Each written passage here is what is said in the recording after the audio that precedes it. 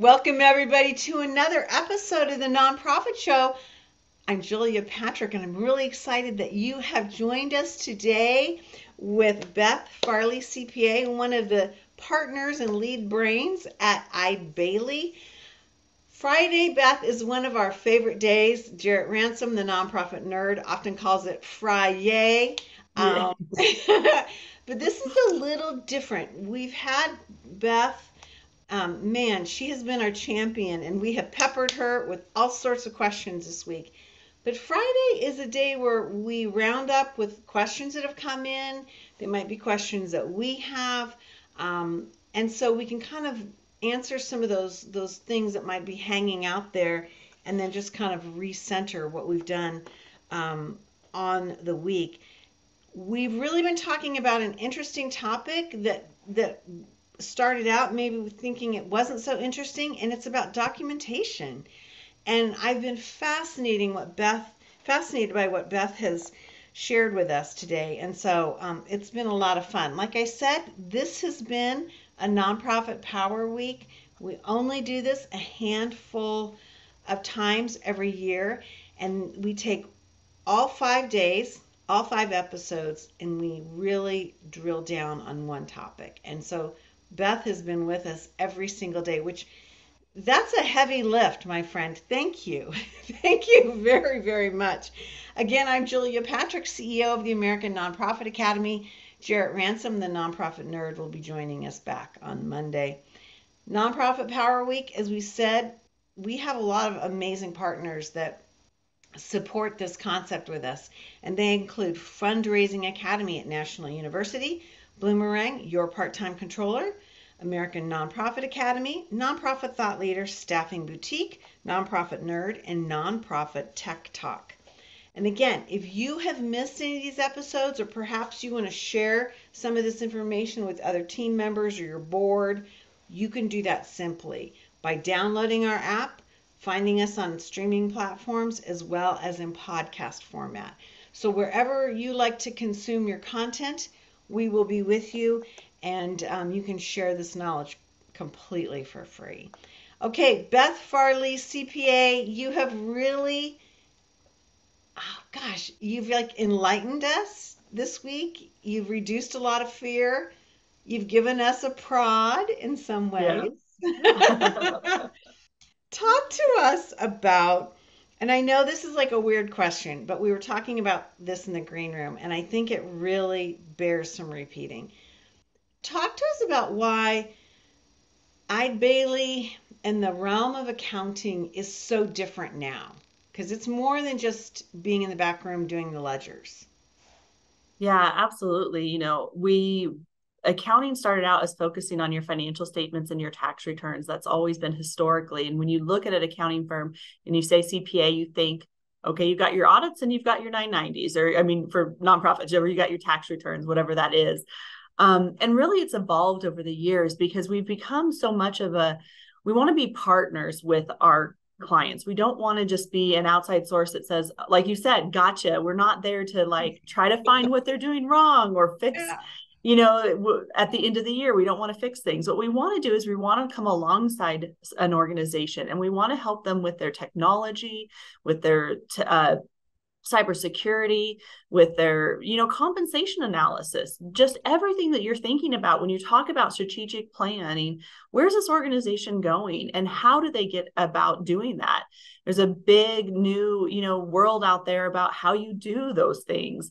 And you don't want to be doing it how you were doing it 25 years ago and especially not how an organization was doing it 50 years ago you know it's it's very different. There's some amazing programs out there that we utilize to help us with business planning and analysis. That's a great one where you start talking talking about forecasting. And if you're going to add 100 more clients, how does that change your fixed or your variable cost? You know, and being able to map that out.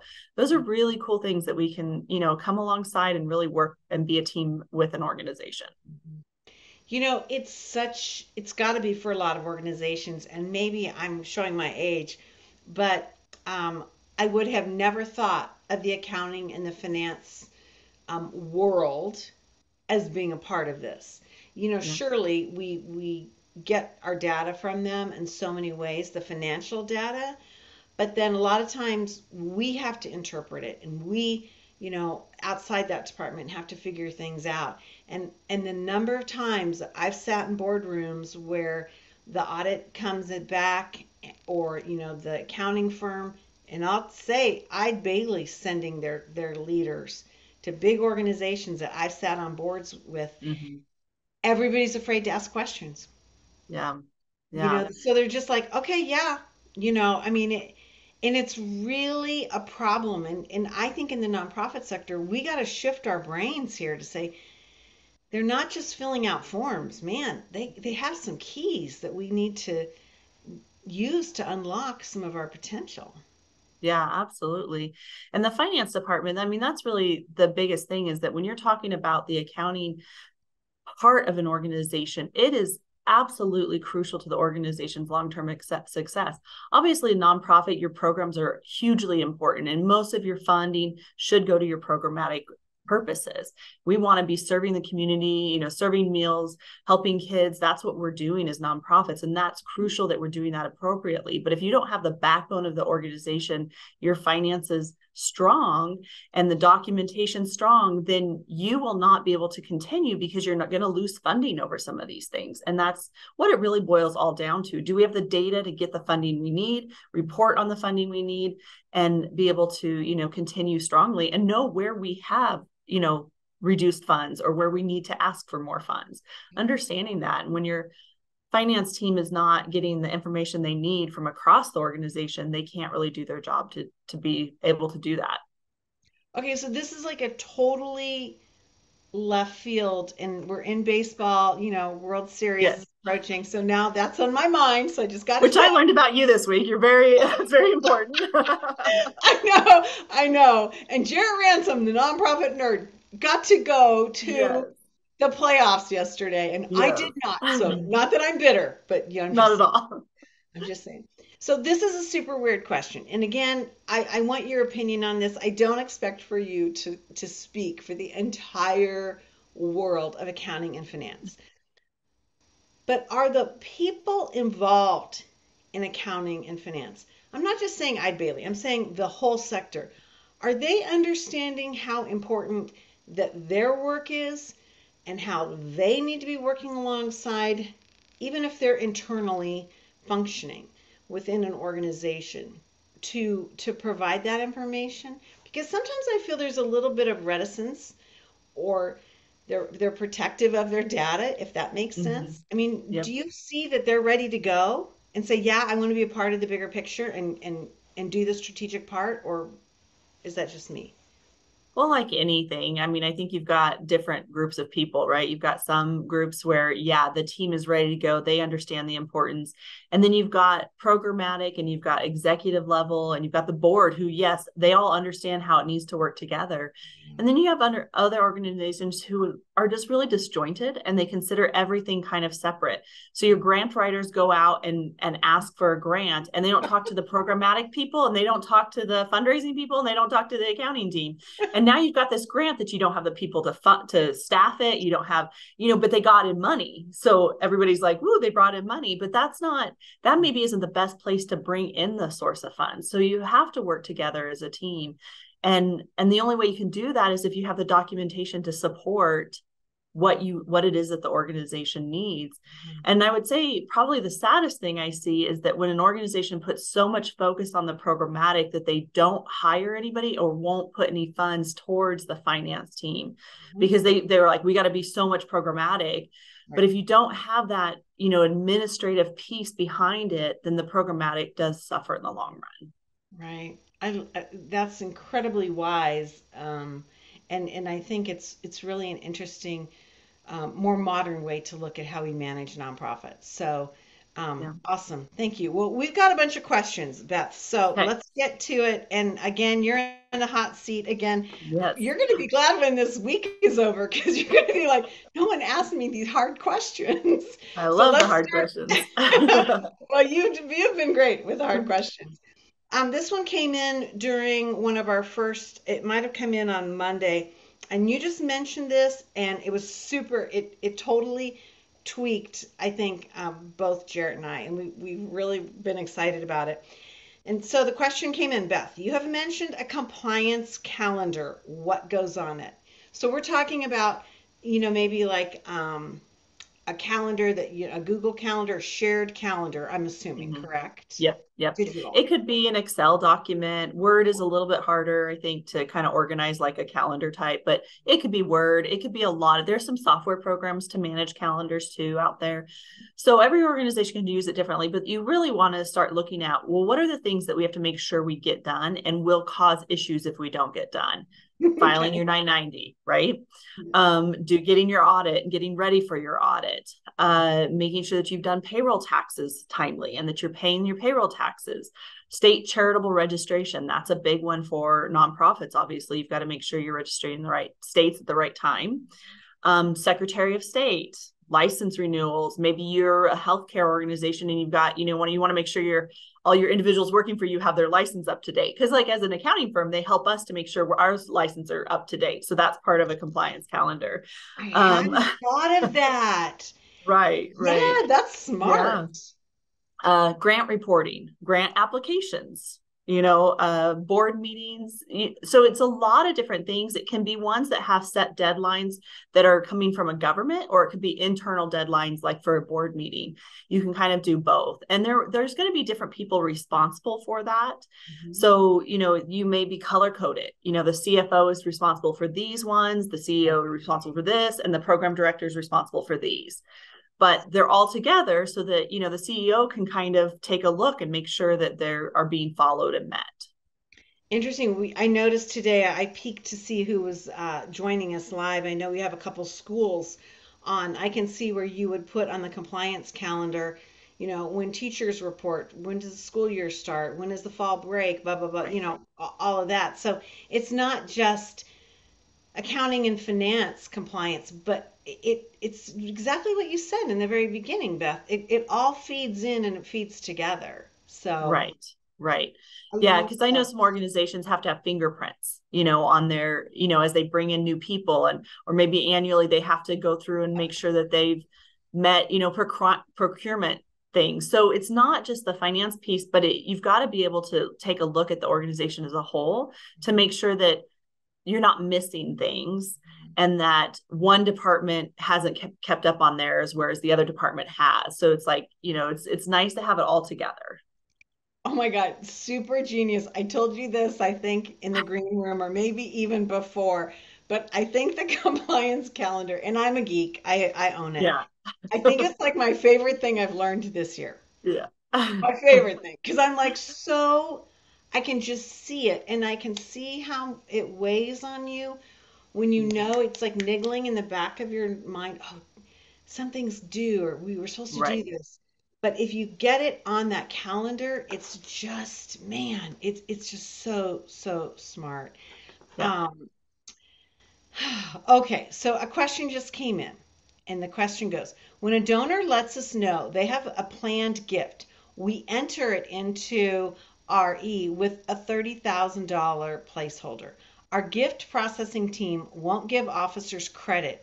If if the letter documentation uh, then the gift is for example 100k is that standard officers are upset. So this kind of fits into mm-hmm. that calendarizing or documenting and pulling through.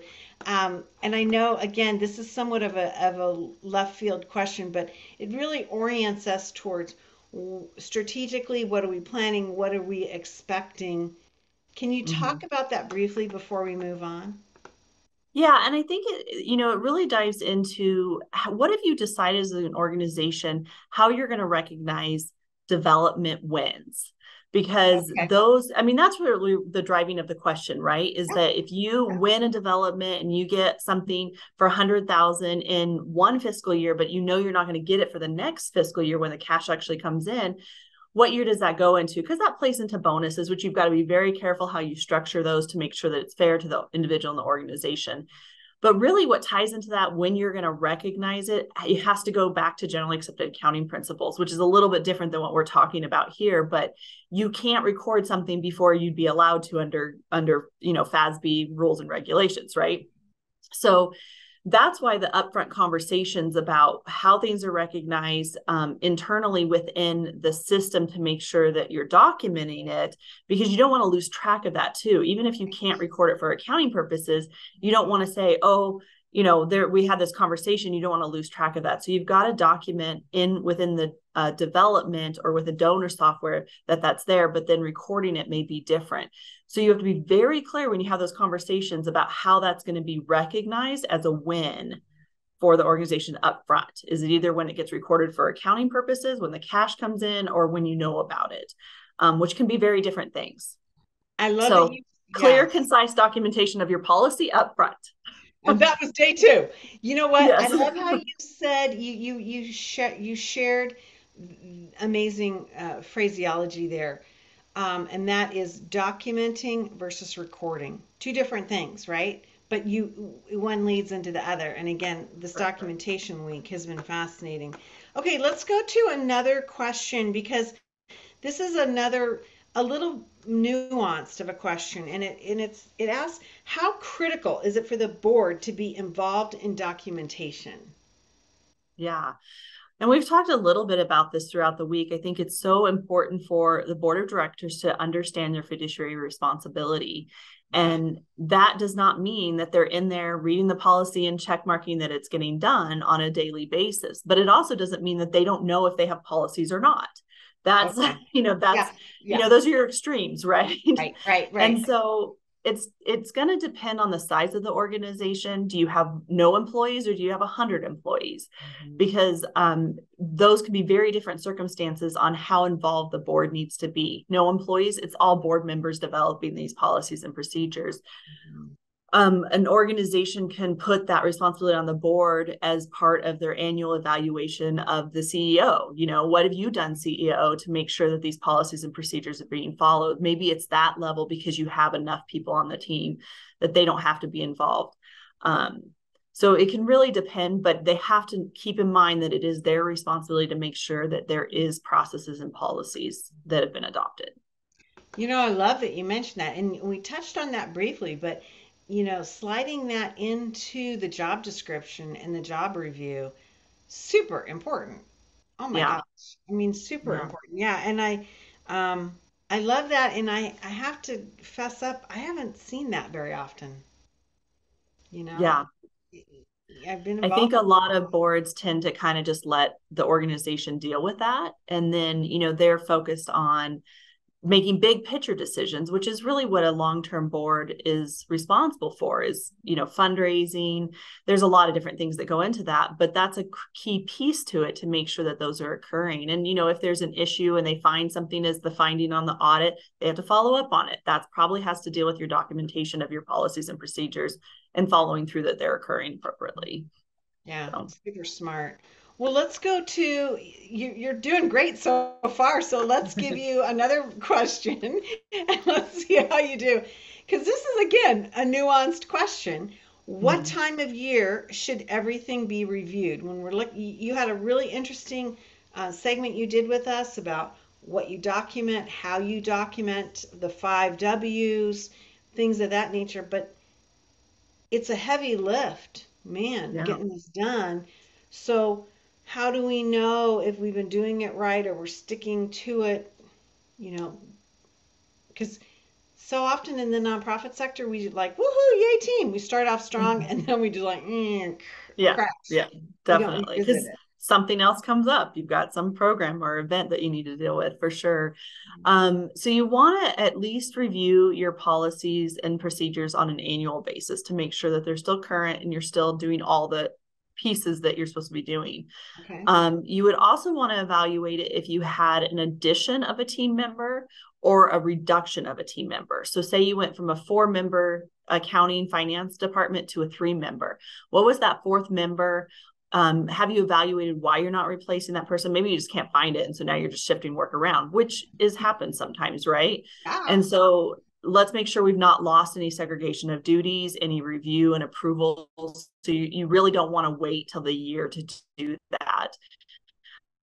Um, the annually can happen at different times though because what if you have your fiscal year is june all of your grants are due all of your grant applications new things are starting up new programs maybe nobody has time in July, August, and September to do that, after, you know, as you close out the end of the fiscal year. Maybe you do it in March because March is very slow for you. You put it on your comp- compliance calendar and you make sure that, you know, somebody's looking at this and it happens whatever works best for the organization.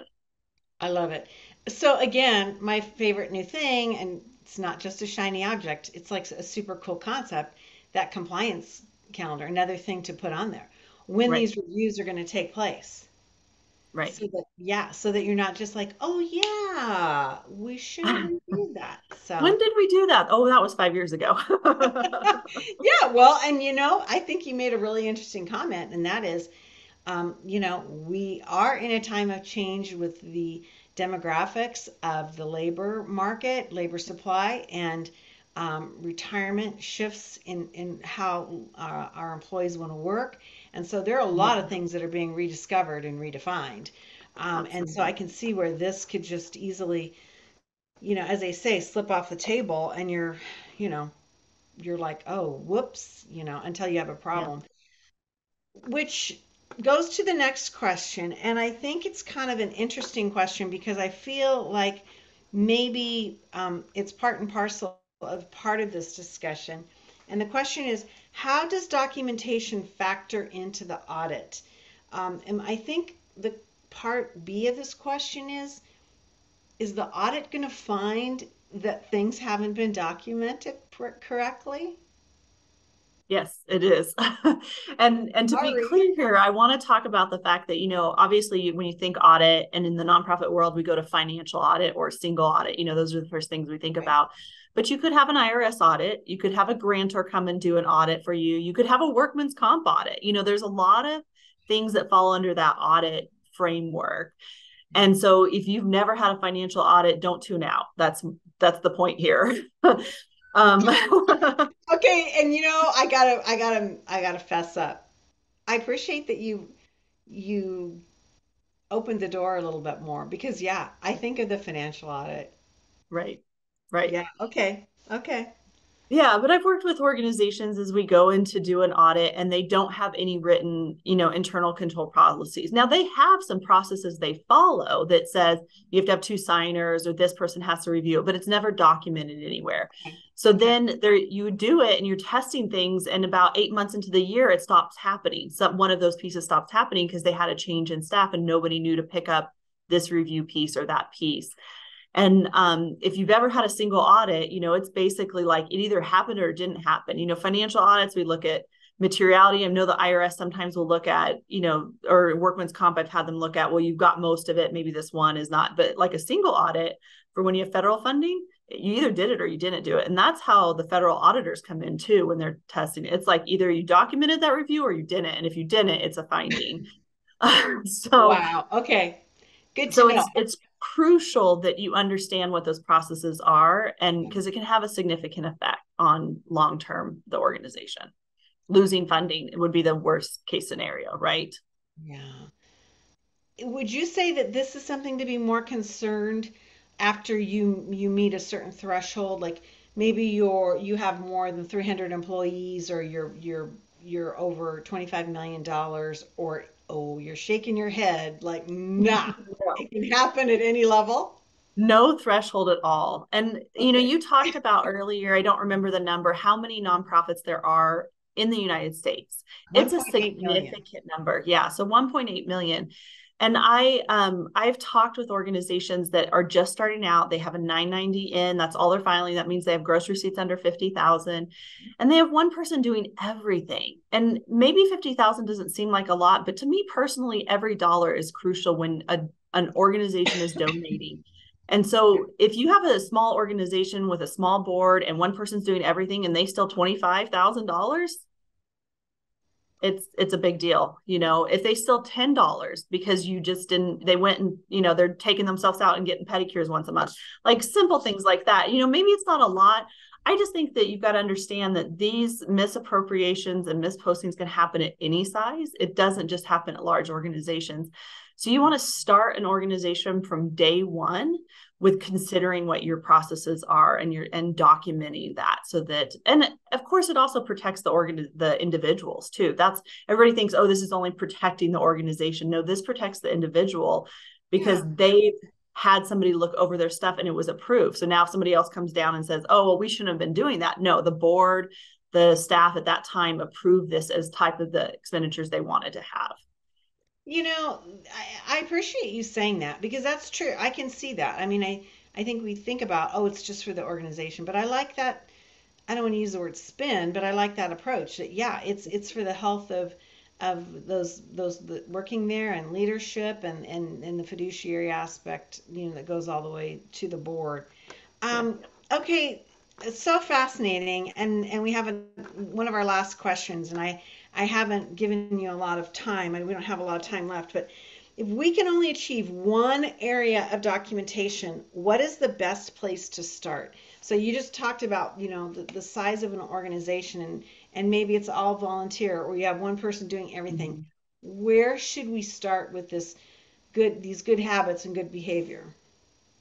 You want to start with the higher risk areas. And so when you think risk, you know, obviously people think fraud, that's what they think is risk, but risk is also human error. Risk is mispostings. You know, you you post something into the wrong account because you flipped a couple numbers in the account number, um, which happen I've done it, you know, look at a number and I say it backwards in my head. Um, so you really want to focus on the the highest risk areas and you start with that. And maybe you kind of go through all of your processes. You look at your payroll, your revenue, your expenditures, your, you know, compliance calendar, you look at that and you just start, you put them in a list in order and you go, okay, this month we're going to tackle the first one, next month it's the second one or quarter, even if you, if you just really need, don't have enough time. So you really want to take a look and see what's most important first. Right. Um, so it's, yeah. again, it's strategy as yes. you, as you've been sharing with us, um, don't make it punitive and don't make it so daunting that um, you can't get it done. You know, right. Beth, you've you've taught me and Jarrett so much um, this week, and I think um, for me, one of the big lessons is don't fear the accounting finance sector, bailiwick, everything. Right? Yeah. Look at it as a leadership partner internally, externally. Mm-hmm. Let that information and that activity drive you know your strategy and and help you to be the best that you can be as opposed to just like oh we got it yeah oh, i gotta keep my receipt yeah because it's it's such a you know it's so interesting i think it's like naturally how we have kind of been programmed to think but ultimately yeah. it's such a negative behavior um, because you're losing an entire um, group of people in brain trust that can help your organization. And that, for right. me, has really been Beth one of the big lessons of this week for me. And that's that's an unexpected lesson. You know, I, don't like think we we started out thinking that that was what was going to happen. But I know Jarrett and I both have thought that. Uh, Beth Farley, CPA, one of the partners at Eide Bailly, um, you can find them at E-I-D-E-B-A-I-L-L-Y dot com, eidebailly dot com. And um, they have an amazing amount of information. They have a, a part of their website just dedicated to nonprofit accounting and finance. So take a look at it. It's free. You don't have to be one of their clients to get uh, access to these resources and it really is an amazing opportunity. These episodes themselves will be uploaded. So, again, if you want to share them, share the link, review something that Beth um, has come on to share with us, um, you can get that information very, very simply. Um, this week we've talked about so many things. The overarching concept has been documentation. But that really seems like it's a limited conversation, and it's not. You need to rethink and reframe. And I think, Beth, you've been marvelous at this. It's been really fun. Um, we are so delighted that you could join us. Again, I'm Julia Patrick, CEO of the American Nonprofit Academy. Jarrett Ransom, the nonprofit nerd herself and CEO of the Raven Group, has been a part of this journey with us um, alongside Beth. Again, Nonprofit Power Week, we only do it a handful of times throughout the year. And we have the support of this through Fundraising Academy at National University, Bloomerang, your part time controller, American Nonprofit Academy, Nonprofit Thought Leader, Staffing Boutique, Nonprofit Nerd, and Nonprofit Tech Talk. Okay, Beth, what's going to happen next week when you don't have to get up bright and early and join us? I'll be very sad because I've, I've so much enjoyed it. Very much so. Yes. It's been great. And we really appreciate the opportunity to be here. You've been really marvelous. And, um, you know, you taught us so much. And sometimes it, I think the thing is, it's been like, in some ways, very basic. You've given us ideas that we can achieve, that we mm-hmm. don't have to go out and hire a new team or and make a huge new investment You've right. given us some very logical, natural things to do, and I and I have really been uh, captured by that. So thank you. Yeah, yeah, it's been my pleasure. It's been a lot of fun. Remember, um, you can come back to us through any of our archives to get these um, videos, um, these episodes of the nonprofit show um, that have featured Eide Bailly and um, Beth Farley, CPA and one of the partners there on the team. So um, make sure that you you know go back and share that because it's been really good information that will help you and your nonprofit achieve your mission, vision, and values.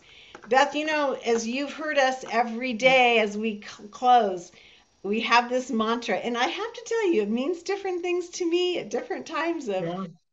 The year and the month of my life, um, what's going on globally, politically, in the sports yeah. world, if you will. Yeah. and it goes like this to stay well so you can do well. We'll see you back here next week for another episode of the Nonprofit Show. Beth Farley and the team at Eide Bailly, you've been marvelous. Thank you.